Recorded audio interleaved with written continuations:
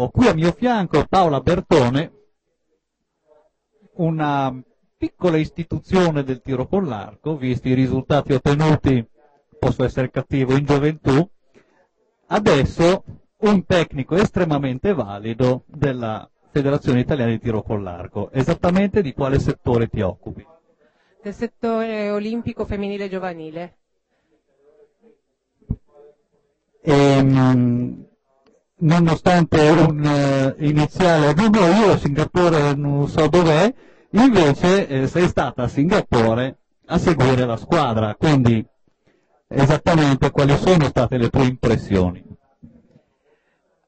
A parte l'esperienza fantastica di una prima Olimpiadi che purtroppo da atleta non sono riuscita a raggiungere, eh, un'enorme soddisfazione vedere che comunque il lavoro fatto qui in Italia sta cominciando a dare i suoi frutti, che c'è comunque collaborazione tra eh, il settore della nazionale e si comincia con i tecnici personali.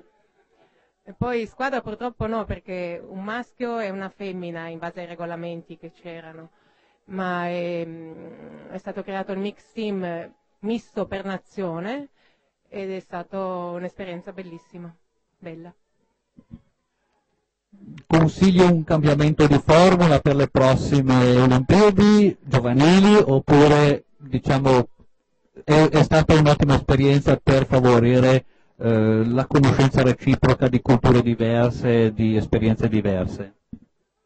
Ma consigliare mh, mm, cambiamenti no, è stata una scelta. Vabbè, all'inizio era, eravamo tutti un po' titubanti, anche perché si temeva di non riuscire ad aggregare i ragazzi. Invece, per quanto mi riguarda, perché magari qualche altro accoppiamento è stato meno fortunato, per quanto mi riguarda è stato perfetto. Sono riuscita finalmente a far sorridere il tecnico bielorusso che in tre anni, visto sui campionati europei, non, non avevo mai visto, quindi bene, bene. Ricordiamo che la nostra atleta che seguivi personalmente è Gloria Filippi, che è stata abbinata appunto a un bielorusso, ti ricordi il nome? Il nome sì, Anton, il cognome non lo saprei nemmeno pronunciare, quindi non lo dico neanche hanno vinto una, una stupenda medaglia d'oro, emozionante. Eh, freccia per freccia, vissuti noi tecnici insieme dall'alto e gli atleti da soli eh, sul campo delle semifinali, finali, bello. Ricordiamo che appunto facendo questa formula del mixed team, cioè un uh, maschio e una femmina ma di due paesi diversi, significava anche che non hanno mai potuto allenarsi insieme, quindi provare le varie sequenze di tiro.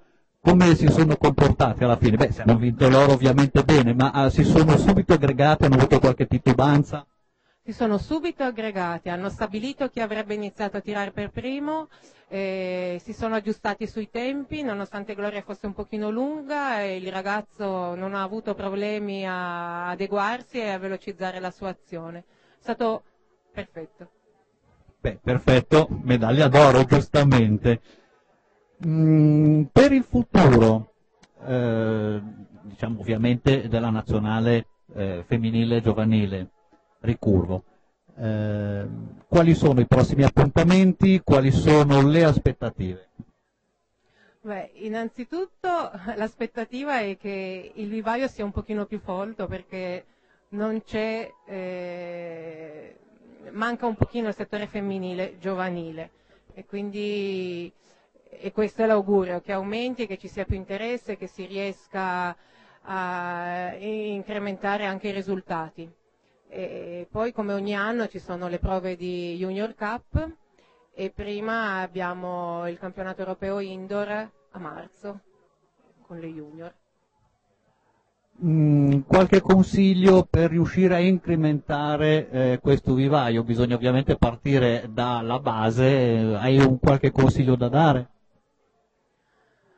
Diciamo che io penso che la difficoltà maggiore è che i giovani e soprattutto le ragazze di oggi hanno talmente tanti interessi che penso la cosa più importante sia accattivarle, circuirle e mantenerle, perché tante cominciano e poi lasciano, non c'è più lo spirito del sacrificio per poter ottenere il risultato purtroppo. Purtroppo il tiro con l'arco, ripetiamolo, io sentivo del, degli allenamenti per il nuoto per essere a livelli mondiali, proprio ieri a Milano, in cui diceva eh, che insomma, si allenava due ore al giorno nel tiro con l'arco per arrivare a livelli mondiali, due ore del, al giorno bastano, no? Vabbè, se lo facessero forse comincerebbe, si comincerebbe a vedere qualcosa perché dubito che ci siano tante ragazze che fanno due ore di allenamento al giorno.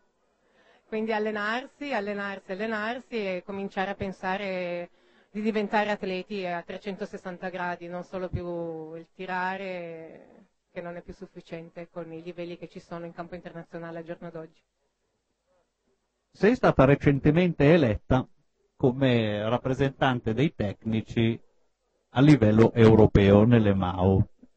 Cosa significa per te? Sono, entrata, sono, stata eletta nella commissione di sviluppo giovanile delle MAO, sì, non rappresentante dei tecnici. Com- mm, spero di, di, riuscire a trovare insieme agli altri membri un sistema di incremento e di sviluppo del tiro con l'arco in ambito giovanile, quello sicuramente sì. Come opinione personale, eh, se ci fosse una maggiore visibilità del tiro con l'arco invece del Grande Fratello, tanto per dire, facessero vedere Cantalupa. Secondo te potre... Cantalupa è il centro federale eh, del... dove si allena e dove fanno i raduni la nazionale di tiro con l'arco. Eh, secondo te eh, aumentare la visibilità potrebbe incrementare la voglia dei giovani ad avvicinarsi al tiro con l'arco e proseguire su questa strada? Beh, potrebbe anche essere una, una soluzione con eh, i mezzi informatici, televisione, computer, tutto che sono eh, il pane quotidiano dei nostri giovani, potrebbe sicuramente attirare qualcuno, se non altro incuriosire. Quindi tutti a chiedere a Sky di fare un canale tematico per il tiro con l'arco. Eh, non sarebbe male, non sarebbe decisamente male. Va bene, senti, ti ringrazio tantissimo, invito anche te alla firma di questo tabellone contro il doping che in collaborazione con la WADA, che è la World Anti-Doping Association, e la FITA. Prego. Voglio dire una cosa a proposito di questo. I tiri di prova ufficiali, le prime volee a Singapore, sono stati fatti con i bersagli proprio così, col centro, con questo shoot clean. Quindi ogni atleta delle Olimpiadi giovanili ha avuto modo di riflettere su questa cosa ed è stato bellissimo oh, finalmente un'iniziativa seria contro il doping, anche se francamente nel tiro con l'arco non ho mai sentito parlare di doping volontario. E speriamo rimanga così. Eh. Grazie mille.